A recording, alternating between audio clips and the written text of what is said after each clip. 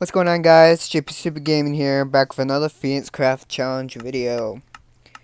Uh, this is week, sorry if my audio sounds bad, I'm not gonna, I'm not gonna edit this video, so things might sound a little bad, or look bad.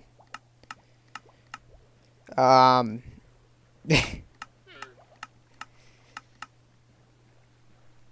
white and black, also recording. Anyways, this is week seven. This is week seven of FenixCraft challenges, or I should say, this is the seventh challenge in the FenixCraft challenge thing thingy. Anyways, this uh this challenge is for redstoners only. It can be the challenge would is any contraption, so it can be any type of redstone contraption. I'm gonna go over here because it's a little loud, and I have cows in here. Okay, never mind. That's not that's not any better. And there's a creepy noise. Uh, this challenge is hosted by SpyderStreemYT.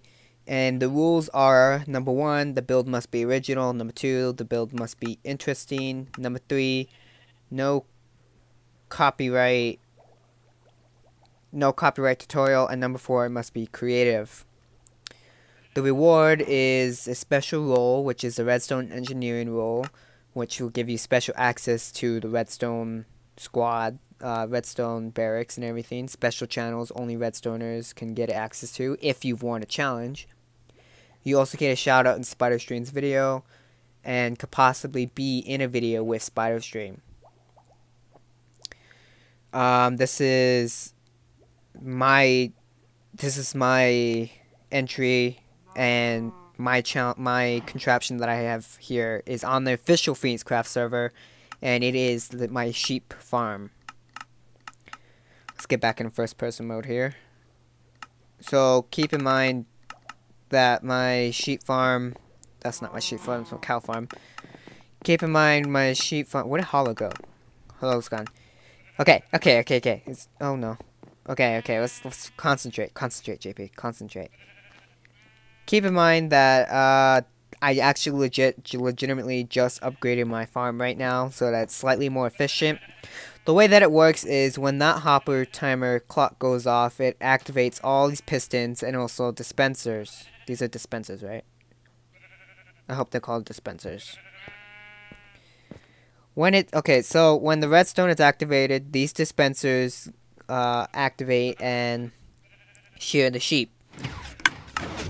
When that happens, excuse me, you have to burp when that happens, it also activates pistons automatically. When there's a piston underneath a dispenser, the piston will be activated at the same time when a dispenser is activated.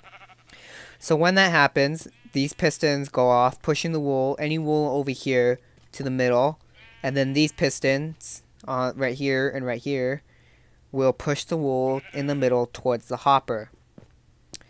This design is also has 16 different chambers. Each chamber could fit two sheep. Um, with regular designs that you find most commonly online, you would find this you can only fit those usually 16 different small glass tubes or chambers you can say that have each color of sheep in it. With that design you can get us only a certain amount of wool. With this design, you get twice as much as the wool, twice as much, twice as much wool as you would with that design. Now, I do have it, because it is, this design is also server proof, um, whenever, because minecarts don't work at well on this server, and probably most other servers, I have a completely, it's all underneath, it's like catacombs, it's all completely hoppers. When the hoppers are activated, uh, when the when the wool gets pushed into the hoppers, all the hoppers lead the wool into my item sorter, which is back here. Let me show you how it works real quick. So the hoppers push the wool into that dispenser, which put which puts the wool outputs the wool into this glass tube and it's called an item elevator. The item elevator pushes the um, wool into this water water thingy. I forgot what it's called. A water escalator or something like that. Water water conveyor. It's called a water conveyor. And the water conveyor outputs all the wool, sorted, color coded too, all sorted into these different chests. Blue, red, green, and so on. It's all sorted into their own little categories. It also does, it does, now keep in mind, I come in here a lot and I actually take a lot of wool. Uh, I've had somebody come in here and took almost all my wool. They paid me diamonds for it, by the way. So let's see how much wool I've managed to get since then. Yeah, quite a bit. The chests are going to be full soon. Give it a few more hours. If I were AFK here, these chests would be completely full.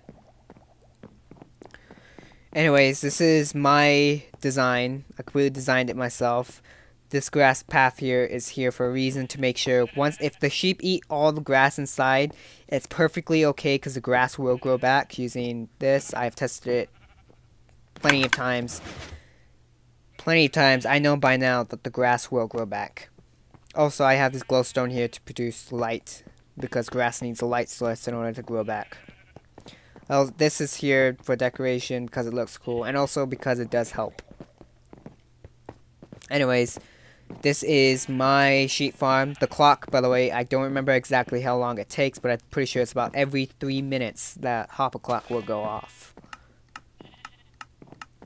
Anyways, let's go back into third person mode. This is, remember, this is on the official FenixCraft server, and this is my FenixCraft week 7 challenge entry. Hope I win. If you want to enter the FenixCraft challenges, then I would suggest joining the FenixCraft Discord. You can find the link somewhere in my other videos. I will not be posting a link in this in the description of this video. And you can also follow the FenixCraft Twitter, and you could probably find a link there too. The FenixCraft Twitter is at FenixCraft10, all lowercase, I believe. I'm not sure. If not, then you can follow me on Twitter at JP Tomerlin, which is capital, which is going to be at capital J, lowercase p, capital T, lowercase O M E R L I N. Anyways, this is it. This is my FenixCraft Challenge entry. JP Super Gaming out.